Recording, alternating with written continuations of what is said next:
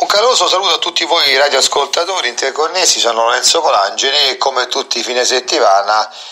parlerò di rugby. Ringrazio sempre il circuito RD a radio per lo spazio che mi consente per parlare e dialogare con voi di tutto quello che avviene nel, nel mondo della pallovale e qui in Italia. Allora, le nostre nazionali azzurre in questo momento eh, sono in pausa per eh, ritrovarsi eh, nel periodo fine gennaio per poter poi organizzarsi e, e, partecipare al torneo delle sei nazioni, in questo caso sia la nazionale azzurra maschile che quella femminile. Ci saranno anche delle attività per quanto riguarda la nazionali giovanili, ma questo poi ne parleremo appena arriverà il periodo eh, primaverile.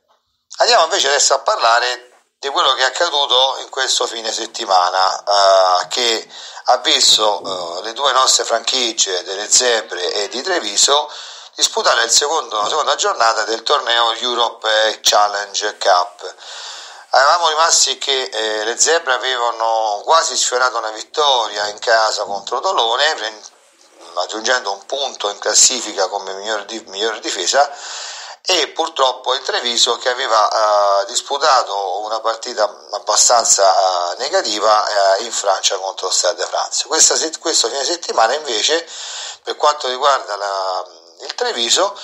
eh, c'è stato un ribaltamento, eh, una vittoria molto bella fuori casa, sempre in Francia contro il Bayonne, una vittoria rotondeggiante con un 45 a 7 che ha visto sempre il Treviso eh, avanti col punteggio e sempre con un dominio sia territoriale ma sia soprattutto per quanto riguarda la, il mantenimento del gioco e la, il possesso della palla che gli ha consentito diverse volte di andare a meta un rotondo 45 a 7 che fa ben sperare per il prosieguo di questa coppa. Mentre purtroppo le zebre sono andate eh, in Inghilterra a sfidare la, la squadra del club di Bristol Bears e dopo un primo tempo ricco di eh, errori madornali, in questo caso due, due mete veramente regalate, di cui una diciamo veramente, veramente assurda, con una forma di eh, poca concentrazione, poca attitudine proprio nel mantenimento della palla in certe dinamiche di, eh, diciamo di, eh, di possesso della palla in zone un po' delicate come nei 10 metri, hanno permesso ai Bristol Myers di portarsi avanti. Anche se poi eh, le zebre hanno cercato di ricucire questo infortunio, non si è riuscito a mantenere quella concentrazione facendo ancora altri errori, ma permettendo poi a Bristol, a Bristol di eh, chiudere un primo tempo in avanti col punteggio. Anche se poi al secondo tempo le zebre hanno tentato di recuperare la partita, ormai il divario era stato abbastanza netto nel primo tempo che non ha permesso alle zebre di poter arrivare almeno al punto difensivo. La partita è terminata con un 35 a 19 che non ha dato diciamo, non ha dato possibilità alle zebre di poter ambire a nessun punto. Ora il campionato di Europe Cup Challenge si ferma, riprende il campionato United Rugby Championships e rivedrà nel mese di fine gennaio di nuovo il, eh, il torneo europeo eh, le nostre franchigie che dovranno disputare il ritorno delle gare che hanno disputato in questo periodo. Poi vi spiegherò eh, darò tutte le indicazioni. Per quanto riguarda gli United Rugby Championships, il periodo di Natale vede sempre da diversi anni i derby tra le due nostre franchigie, quindi ci sarà il derby tra il Treviso e le Zebre il 24 dicembre alle ore 13.30, quindi avremo questa, eh, questa partita all'una e mezza il giorno del 24 dicembre e il 31, sempre di sabato, alla stessa ora, invece sarà eh, Treviso che andrà a Parma contro le Zebre. Quindi Treviso Zebre il 24 dicembre e Zebre Treviso invece il, 3, eh, il, 20, il 31 dicembre. Ovviamente Benetton Treviso. Eh, saranno due partite eh, spero piacevoli da vedere. Speriamo che eh, Treviso per chi tiene Treviso possa conquistare i 10 punti disponibili ma anche le zebre che invece possano recuperare e riprendere un, diciamo, un qualche punteggio per smuovere un po' la classifica che, la vede, che li vede in ultima eh, posizione. Eh, le partite saranno trasmesse in diretta sul canale e la piattaforma Eurosport e quindi ripeto 24 dicembre ore 13.30 Benetton Treviso Zebre poi si è disputato il, l'ultima giornata per quanto riguarda il girone di andata del campionato top 10. Eh, I risultati che sono venuti fuori da questa giornata hanno consentito a Padova di riprendere il primo posto in classifica e di, no, di diventare campione d'inverno. Questo perché? Perché la partita regina del, del, del girone il Colorno contro il Rovigo ha visto il Rovigo vincere fuori casa un con una vittoria corsara 30 a 13 e eh, ribaltare un po' eh, le prospettive di un Colorno che era primo in classifica e eh, eventualmente con, quest- con, una vittoria su Rovigo poteva eh, ipotecare eh, il titolo d'inverno. Invece eh, Rovigo è stata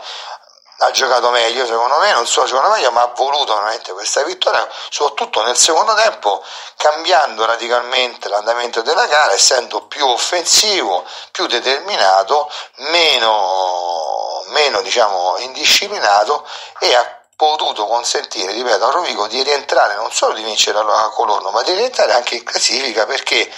eh, riaggancia il terzetto eh, della classifica per posizionarsi a un quarto posto. Le altre gare hanno visto il Padova vincere 29 a 21 contro la Fiamme Oro, Fiamme Oro che come ho detto in precedenza, anche se esce sconfitta dalle gare contro le prime, però dà sempre filo da torcere, Reggio Emilia che eh, vince abbastanza anche lui difficilmente contro un Viadana che nelle ultime giornate ha, ha dato da filo da torcere di nuovo anche alle, alle, alle squadre di prima classifica.